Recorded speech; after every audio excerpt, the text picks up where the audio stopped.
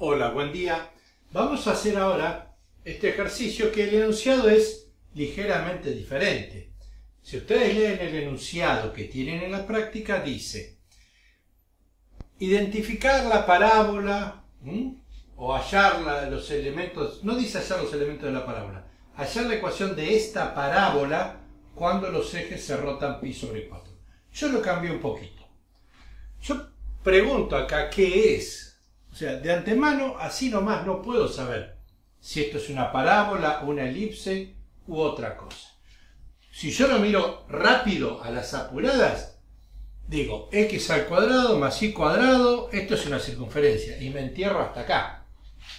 No va a ser una circunferencia. Vamos a ver qué es. Además, este es un primer ejercicio sencillo porque me dan el ángulo. ¿Ven? Me dicen, exprese esta ecuación, esto es una curva, acá en el plano XY, exprésenla en coordenadas correspondientes a ángulos girados pi sobre 4, o sea 45 grados. ¿Ven? Mis nuevos ejes son X' e Y'. No es un ángulo caprichoso este. Es justo el valor que yo necesito para que se limpie este término. Eso no está dicho en el ejercicio, pero es así. Vamos a verificarlo. Miren, recuerden que acá teníamos un coeficiente 1 que llamábamos alfa, el 2 es el beta que acompaña el término x por y, y un 1 es gamma. Y la tangente del doble de ese ángulo que a mí me permite eliminar este término x por y era tal que teníamos beta sobre alfa menos gamma. ¿Mm? Muy bien. Acá tenemos que beta vale menos 2 y justo alfa y gamma son iguales. O sea que esto es 0. Yo no puedo dividir por 0, pero yo sé que si tengo algo que no es 0 dividido 0, ese algo tiende a infinito. No digo que es igual a infinito, digo que tiende a infinito. Quiere decir que la tangente de 2 tita tiende a infinito. Por lo tanto, 2 tita puede ser igual a pi sobre 2. Es una de las soluciones. Podría ser otra. Pero esta es la que corresponde a este ángulo. ¿Ven? Mi ángulo tita, dividiendo todo por 2, me queda pi sobre 4, que es 45 grados. Esos son los nuevos ejes. Entonces, voy a usar una fórmula de cambio de base que corresponde a una nueva base girada este ángulo. Bueno, la fórmula que usamos desde el principio es xy, el par de coordenadas xy en estos ejes más tradicionales, es igual a coseno de tita menos seno de tita, seno de tita coseno de tita por x' y. Cuidado, no se confundan. Esta no es la matriz de la transformación lineal correspondiente a una rotación de un punto o de una figura. Es una matriz de cambio de base. La matriz para la rotación tenía signo menos acá. Esto es para la rotación del sistema de coordenadas. Para pasar del sistema de coordenadas x' y' al XY. ¿Sí? Dados estos dos, hago este cálculo y calculo esto. Y justo lo voy a hacer, me va a permitir sustituir X e Y acá. Lo vamos a hacer de una manera muy, muy sencilla, un poquito tediosa, pero es la que sabemos por ahora. Yo voy a hacer este producto de matrices y me queda que xy es coseno por x', o sea, coseno de tita por x' menos seno de tita por y'. Esta fila por esta columna es seno de tita por x' más coseno de tita por y'. Justo para este ángulo, para pi sobre 4, tanto el seno de pi sobre 4 como el coseno de pi sobre 4 valen lo mismo. Raíz de 2 sobre 2. Si reemplazo acá me queda x y igual a raíz de 2 sobre 2 por x' menos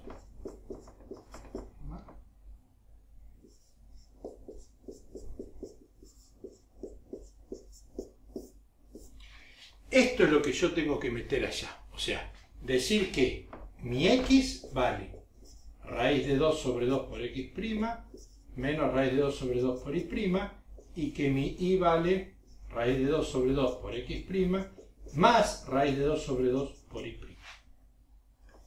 Luego de sustituir eso acá, me debería quedar una ecuación sencillita sin este término. Van a ver que queda algo sencillo, pero con muchas raíces cuadradas. Es un poquito, como les dije, tedioso, pero hay que hacerlo. Con paciencia, meter todos los números, todo. Muy ordenado. Acá la clave es el orden. Si yo me pierdo y pongo en cualquier lado los, los polinomios que me van a quedar, lo más probable es que finalmente no, no cierre esto. Bueno, vamos con x. Con esta expresión de x, voy a reemplazar acá y voy a poner raíz de 2 sobre 2 por x prima menos raíz de 2 sobre 2 por y prima, todo eso al cuadrado, menos 2 por x, raíz de 2 sobre 2 por x prima, raíz de 2 sobre 2 por y prima, por y, que es esto de acá abajo.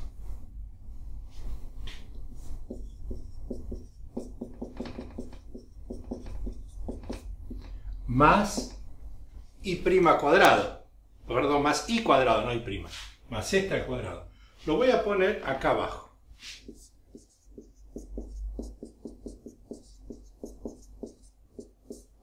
Sigo esta expresión, la sigo acá. Más 2 por x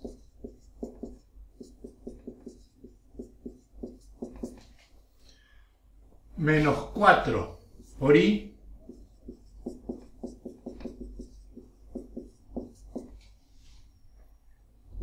más 3 igual a 0.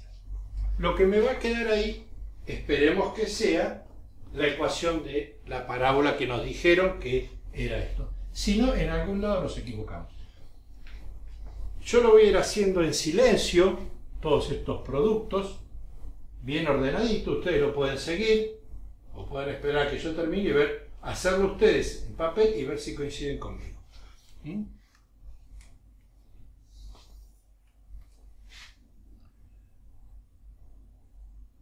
Esto es un binomio al cuadrado, o sea que es el primero al cuadrado por x' al cuadrado menos el doble producto del primero.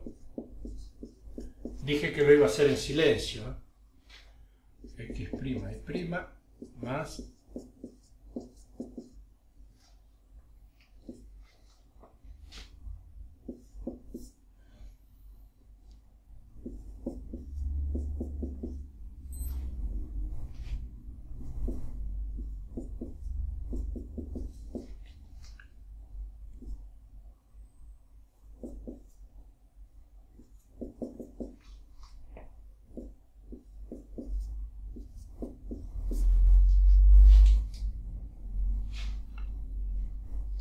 Esto lo voy a poner acá.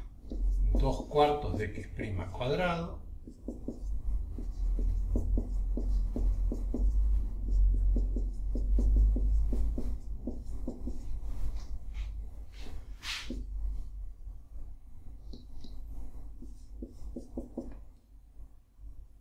este por este positivo, perdón, menos raíz de 2 por y' menos 2 raíz de 2, este con este, x' menos 2 raíz de 2 y más 3 igual a 0.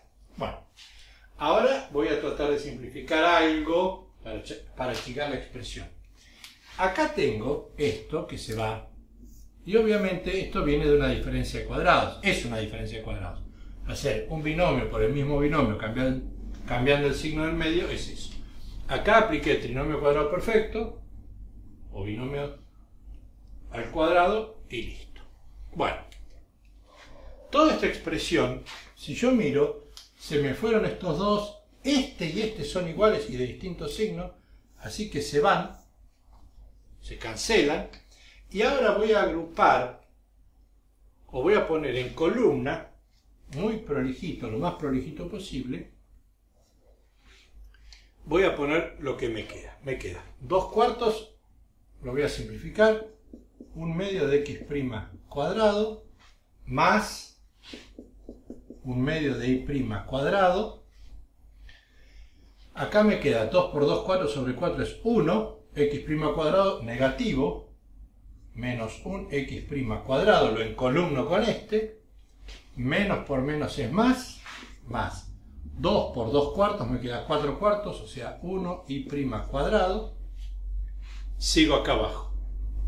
Más un medio de x' cuadrado, este, más un medio de y' cuadrado.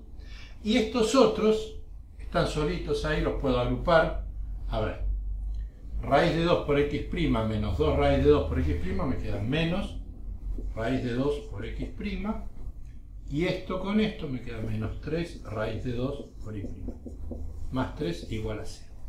Fíjense que acá, un medio más un medio menos 1, todos estos se cancelan y me queda un medio más un medio más 1 son 2 y cuadrado menos la raíz de 2 por x' menos 3 raíz de 2 por y' más 3 igual a 0.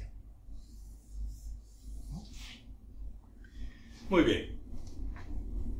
Esta es la ecuación de una parábola. Acá me quedo solamente al cuadrado y prima, con el vértice desplazado, porque hay un término lineal, etc. Pueden hacer, completar cuadrados y buscar las coordenadas del vértice. El ejercicio no lo pide. Me dice simplemente identificar que es una parábola. Bueno, fíjense que si yo despejo x', me queda así. 2 y prima cuadrado menos 3 raíz de 2 por y' igual a raíz de 2 por x' menos 3. Después si quieren completen ustedes cuadrados. Ahora, lo que yo tengo es que x es función de y al cuadrado y este término es positivo. Quiere decir que la parábola es una parábola acostada. Así, pero ya no estoy hablando del eje x y el eje y de antes, sino de estos nuevos. Quiere decir que mi parábola, si está desplazada o como sea, va a tener que ser de esta forma. Así. Con su eje de simetría paralelo a este eje X'. Si ustedes quieren verificar rápidamente con un programa graficador como el Desmos, si ustedes se meten en www desmos.com hay un graficador muy sencillo.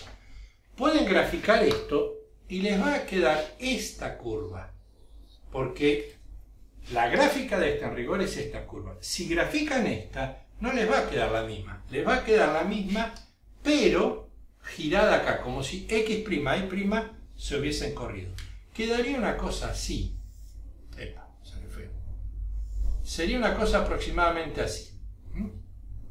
Pero pueden ver, van a poder ver, que tiene la misma forma y que está una rotada respecto a la otra alrededor del punto de origen.